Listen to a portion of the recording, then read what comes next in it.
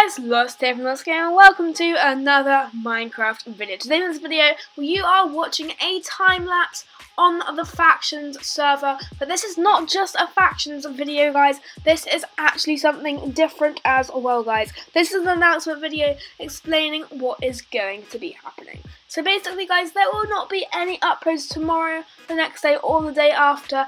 My huge apologies guys, but you know that whole big thing that went on that I can't really talk about?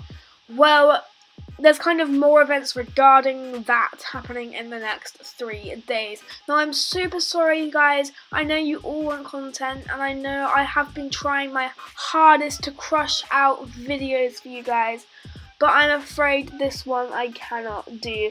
My apologies guys and enjoy the rest of the time lapse. Peace out guys.